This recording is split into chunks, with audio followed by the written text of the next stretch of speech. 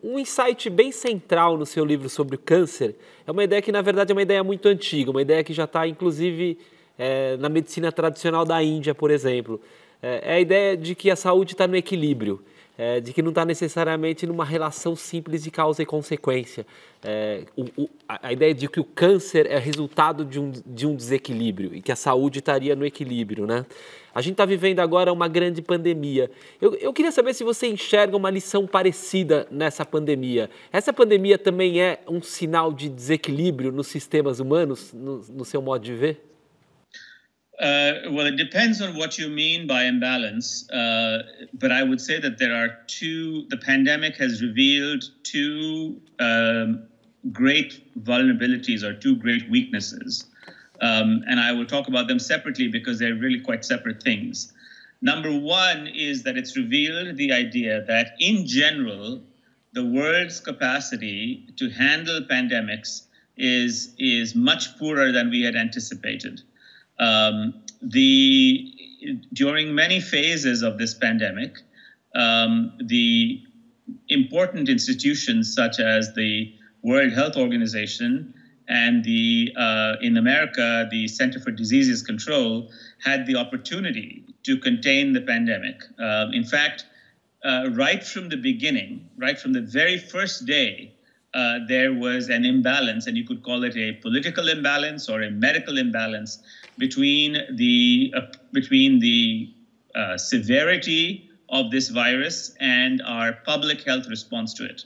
Um, the Wuhan uh, authorities uh, should have been more should have had more higher degree of alacrity instead of trying to suppress the information. Uh, they should have launched their uh, uh, they should have been more open about the severity uh, of what happened. They still have not been actually open. We still don't know exactly how the pandemic originated and how it spread. And there has been resistance, there's been a constant level of resistance um, to find out. Um, so, so that so right from the beginning, uh, all the way to the WHO and to the CDC, uh, I would say a series of mistakes were made which should not have been made, and uh, our capacity uh, overall, globally, um, uh, to fight pandemics has been uh, revealed as quite weak.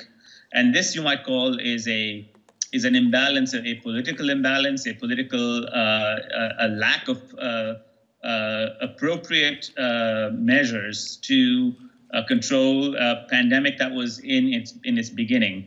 In fact, had this pandemic been appropriately controlled uh, at the very beginning, we would not have been seeing the terrifying consequences across the world, and it was not. Um, the second is that there is, as I just referred to you, um, there is the, the, virus, this particular virus um, also causes, we now know, a very peculiar imbalance in the immune response to it.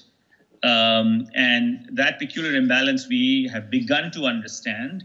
Uh, but it's also highlighted the idea that although we are nearly looking at a century or nearly 100 years of research in immunology, we still don't understand fundamental aspects of viral immunology and vaccine development um, in, in a way that we really should. Uh, you know, 100 years or 150 years since we have understood the immune system, we do not understand some fundamental features of it. Um, I'll give you some examples. One example I just gave you is that for reasons that we don't really understand, um, there is a this virus causes a peculiar immune dysfunction. Um, in fact, an immune dysfunction that has been seen really before in patients uh, who have been treated with uh, uh, particular kinds of uh, cancer therapies that involve um, bone marrow transplantation, for instance, or T cell transplantation. the virus, for some reason, this release of uh, of these uh, factors, these in inflammatory inflammation, is very reminiscent of um, a, a, similar situation that we've seen in in in, ex in experimental treatments for cancer uh, involving T cells. Um, this response is uh, was unexpected. Um, we have just begun to learn about it, and it reminds us that, are, that there are fundamental features of immunology and vaccine development that we still don't know so far. And I'm, I'm happy to discuss this, uh, these uh, unknowns uh, in greater detail as we move along.